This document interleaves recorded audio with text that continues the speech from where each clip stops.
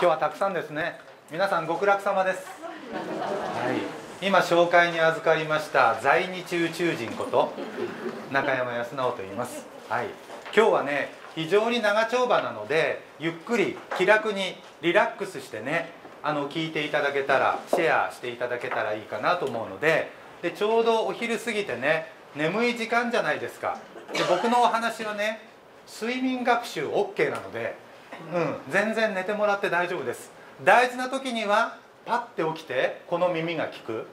ねで寝てても覚めてますから目覚めてますからきっちり受け取ると思うんですよね。ですから隣の方にご迷惑にならないレベルで寝ていただけたらなと思いますのでよろしくお願いします。皆さん日頃何されてるんですか？だって今日平日ですよ。普通だったらねちょうど午後の午後の仕事の真っ只中こういう時間の中で今日もね本当に猛暑ですから暑いですからクーラー効いてるこの中でね集まってお話し会になってますが僕の方からしても皆さん何されてるのかなと非常に不思議なんで多分もう曜日とかね関係ないまあ宇宙人がね集まってると思うので今日は前半宇宙の映画のお話とそしてマナカリアリティをね今日一通りダイジェストでお話します。これはステージ1からステージ5までねこちらでさせていただきましたがステージ6まで行ってますかねさせていただきましたが今日初めて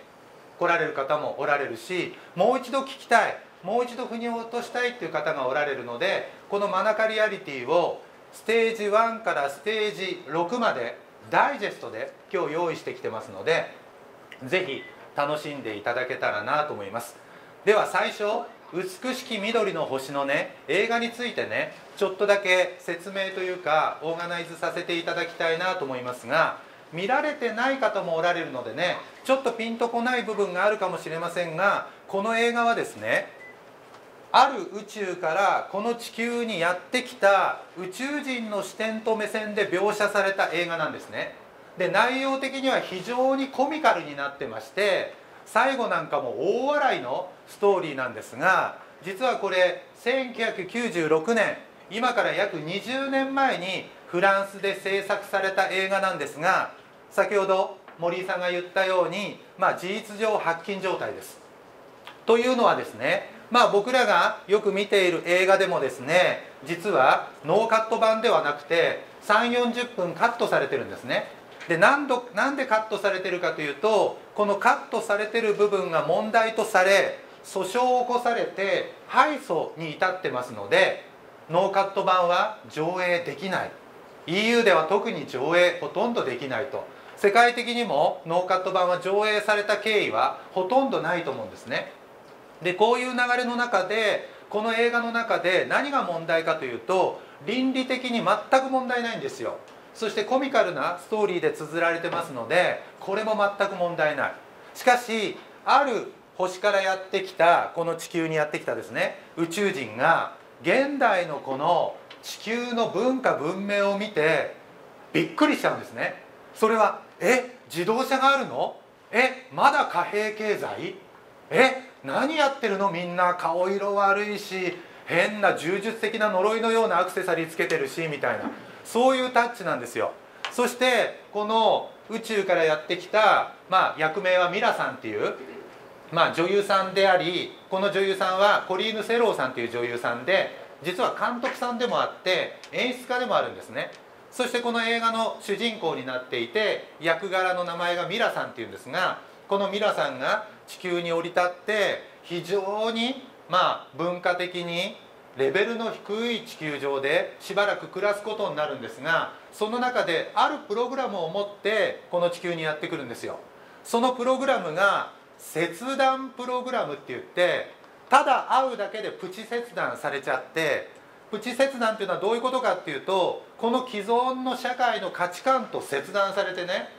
本音本体本心が出てきちゃうんですよ。一番最初会った女性はですねケーキ屋さんの、まあ、店員さんでもありながら、まあ、作ってるケーキ職人の奥さんだったんだけどこのミラさんが地球にやってきてこの女性と会ってちょっと会話をしたらですねプチ切断が起こっていきなりね店内にあるケーキを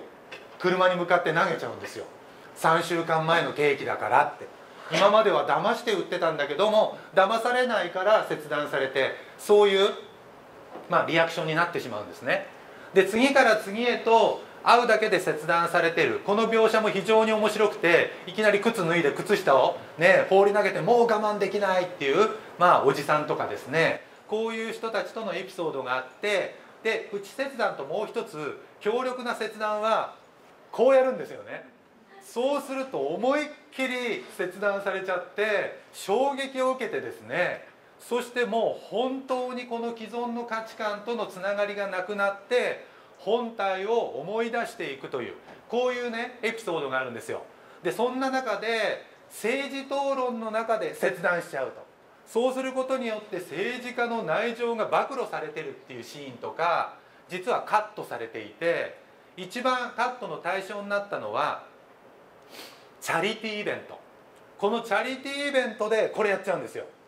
そうするとチャリティーと称してお金をがっぽりがっつり儲けているという内情が暴露されるというそういうストーリーというかエピソードなんですね。で実はしっかりチャリティーをやってる人たちから全てのチャリティーが誤解を生んでしまうということがねきっかけとなって訴訟を起こされて敗訴されて敗訴しちゃってるのでそのシーンは僕もまだ見たことないんですよ。しかしフランス在住の方からストーリーをお聞きしてこれはぜひ見たいなというこういう話になってるんですよね。ですからこのノーカット版を見るためにはフランスで版権持ってる会社もおるしプロデューサーもいるんだけどもそこは映画配給会社という専門の立ち位置の人がつながればいいご縁をいただいて、まあ、日本に持ってくるということをすればいいので僕らとしてはですね実は監督さん自らとつながって来ていただいてそしてノーカット版の上映だけではなくて実はこの監督さんが主演の女優さんでフランスでは有名な脚本家と演出家でもありますので非常に直感的な女性なんですね。でその映画を作ったのは実は面白いエピソードがあって舞台でクタクタになってお家に帰った時にお家にあるご神木のような存在から通信が来たっていうんですよ。でその通信がきっかけとなってダウンロードした内容が要は美しき緑の星のストーリーになっていると。それが結果的に世の中の人を今切断していると。覚醒に導くと。こういう話になってるんですね。そして細かいところを見ていくと非常に面白いのでということはただノーカット版を上映としてみんなが見るだけじゃなくてこれを作ったね木から直感的にダウンロードしたこの情報を受け取った監督さんであり女優さん主演の女優さん自らを来ていただいてコリーヌ・セローさん。そして監督との対談とか制作のエピソードとかそんなことを交えながらノーカット版の上映をねしたいなということを思いましてそれで今まあ、フランスの在住の日本人の女性を通して、ね、アプローチしている。コンタクトしているという状態なんですね。そして今日撮影が入ってるのは実はこの撮影も含めて日本で遠く離れた日本で監督さんが作った映画がセローさんの制作した映画がここまで話題になってるんだよ。20年の時を経てまるでフランスでワインの熟成期間を経てね。本当にこの日本で日いずる国の日本でね話題になってるんだよっていうことをちゃんと画像でも、ね、お伝えしたくて今この画像を撮るということで、ね、今回撮影隊と実はプロデューサーも来てます。でこの映画をちゃんとノーカット版の映画を日本に持ってきて、ね、上映会をしながらも監督さんとの、ね、ディスカッションをしていくというこのプロジェクトを一つの、ね、これからのきっかけとしようということでそのプロジェクトのプロデューサーもね今日来ているのでだから今日撮影隊がね入ってるという。そしてみんなもこのことを潜在的に知っているのか平日なのにねたくさん来ているので面白いんではないかなと思います。そしてね映画を見てないとちょっと分かりにくいかもしれないけど映画の中ではものすごい具体的なメッセージがね奥行きのレベルで重なって描写されてるんですね。まあ簡単に言うとですね何箇所かあるんですが例えばこの映画の中では一貫して、ね、水の大切さ木の大切さ食べ物の大切さそして音の大切さを伝えてるんですね。まず水の大切さっていうのは実はこの宇宙人は足を水につけてこういうふうにやるとですねね実は遠く離れた惑星ともテレパシーで通信できるというそういうまあテクノロジーというか知恵を持っていますのでで汚れてる水ではなかなか雑音が入ったりするそういう感じとかなんか口に入れた時には何か入ってるってすぐ吹き出しますから水の中にね塩素とか変なものが入ってるっていうのは本来からすると本末転倒なので水の大切さを伝えている。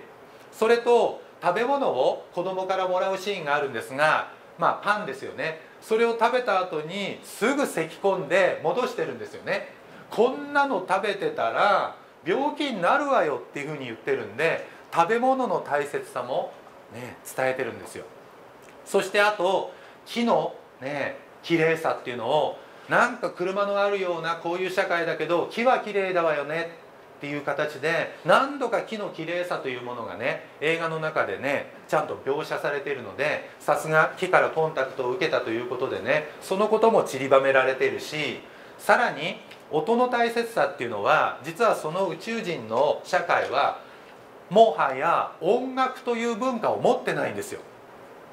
ここがまた面白くてね。音楽という文化を持ってないということはどういうことかというと音楽が悪いわけではなくて音楽によって私たちは影響されてるっていう事実があって水は体内に入れてますよね。食べ物も体内に入れてるんですよ。そして実は服も経費から入ってきてるんですね。ナイロンとか化学繊維を使ってしまうと経費からその成分が微妙なりとも入ってきてるのでだから美しき緑の星の住人たちは朝とか絹のようななんか締め付けないゆったりとした着物を着ているんですよね。そういうことも一つポイントなんですがもう一つ音も体に入れてるんですよ。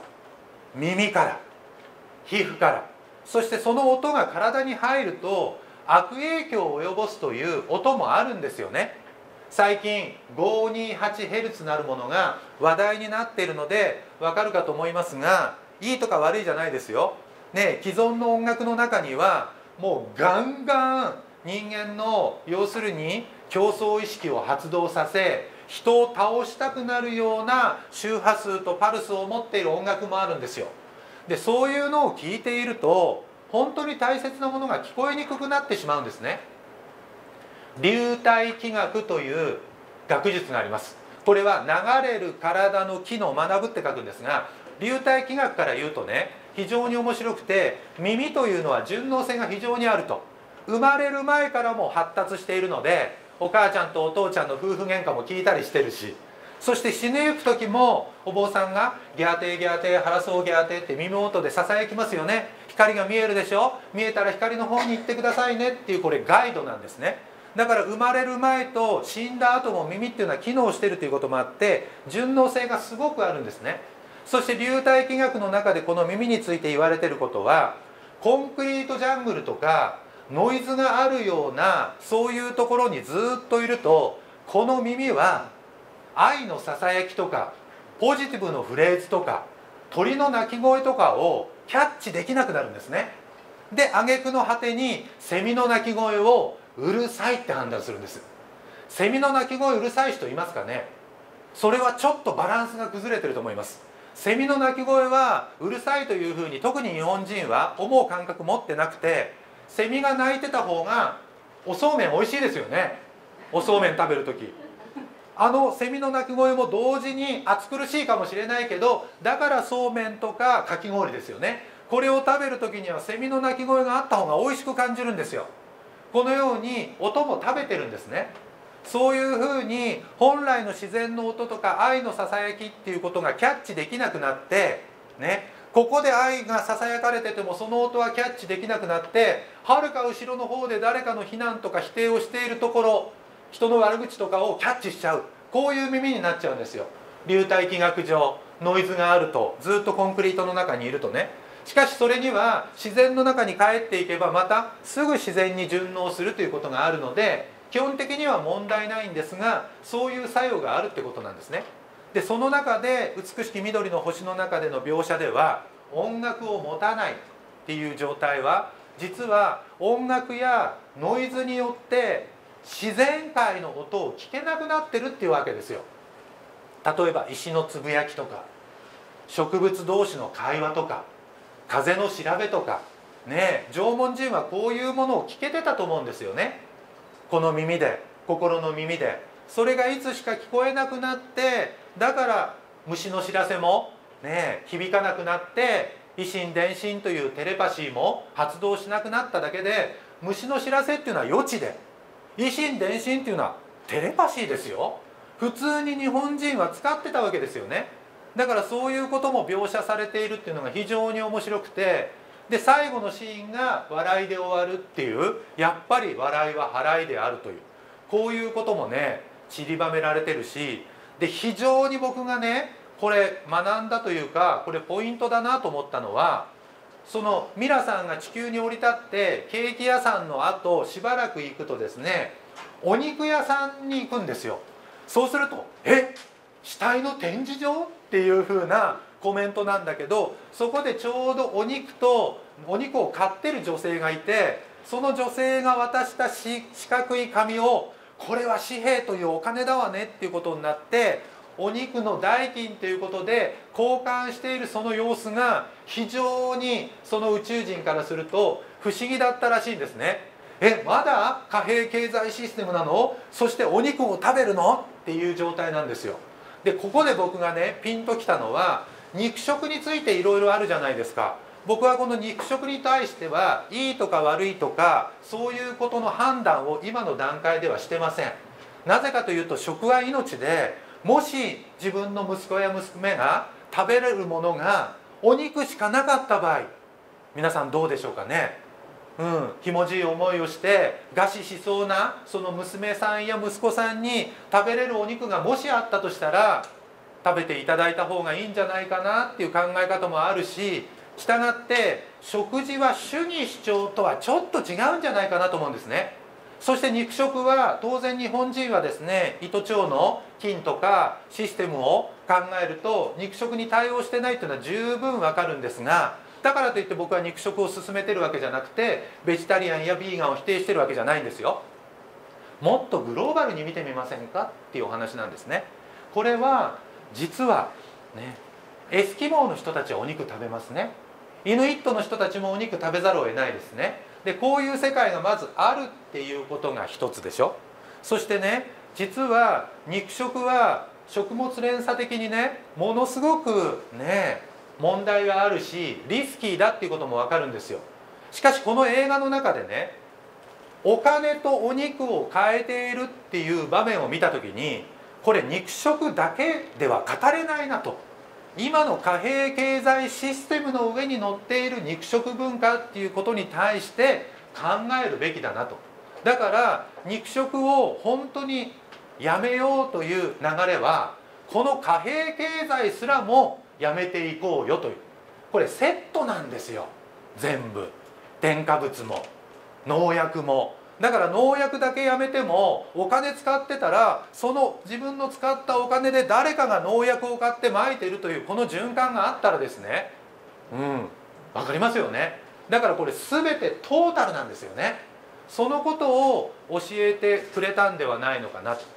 このように思うんですよ。そしてあなたね肉を食べるとねどれだけ家畜がね、うん、苦しい思いをして要するに穀物を無駄に使って誰かが死んでるか分かりますか？っていう話ですよね。そういうことからして罪悪を感じてしまいますので当然。しかしね、うん、車で、うん、地下資源でねガソリンとか軽油で1キロ走るとね10キロ走るとどうか知ってます？10キロ走ると人が1人死んでるんです。全部のトータルの換算でいくと。だからここに来るのに100キロ走ってきたら 10人殺してここまで来たという。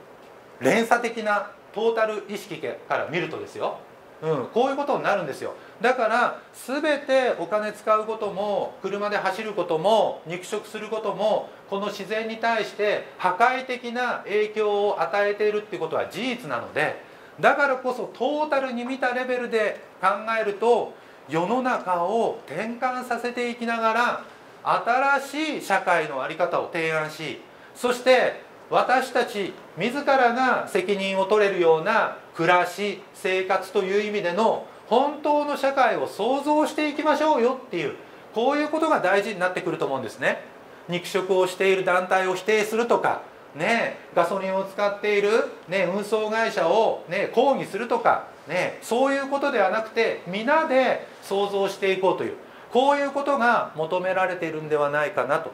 いうふうに思うんですね。その意味で後で、うん、未確認歩行物体たるトッシーが説明してくれますがこの明石の奥の院の勘出で始められた銀河ステーションの創造というものは全部ここにね美しき緑の村を作っちゃおうと。こういうお話なので僕も賛同させてもらってエネルギー食べるもの着るものそういうことも含めて全部手前味噌でね自前朝でやっていきたいなというふうに思うんです。これは一歩一歩かもしれませんよ。しかしながら一歩一歩やっていくプロセスが後で話しますがねワクワクすることがどのぐらい大事かっていう意味も含めてねみんなでやっていく意味があってもっと言うとお約束があってねここに来てるんではないかなというふうに思うので、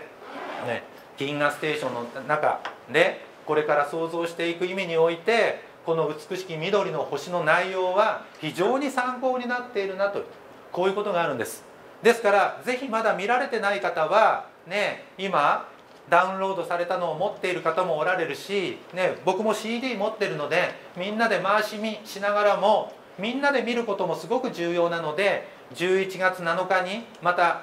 鑑賞会をこちらでねさせていただくのでその時見てみんなとシェアしながら見た感想をね積極的に言ってくれるとねやっぱりねポイントが違うんです。印象に残ったポイントが。それをやっぱお聞きするとねあなるほどなそういう視点もあったなそういう見方もあったなというふうに思うポイントが多々あるのでですね是非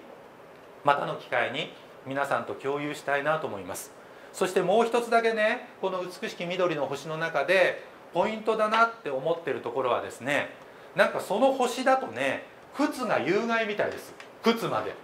だから靴を履くっていうこと自体が非常に萎縮しちゃうし血液の流れやリンパの流れも止めちゃうのでもうパンツどころではないというね。だからもうパンツは脱藩してもらってふんどしに変えると。でできるだけもうね草履とかね下駄とかねまあ場合によっては裸足。そういう方が好ましいんだけどしかし全て100%それでは通りませんよね。冠婚葬祭の時にやっぱり草履やね裸足で行ったらちょっと非常識って思われちゃう。一般的にはですよ。ね。行ける人は突き抜けてる人はどんどんそれで行ってくださいね。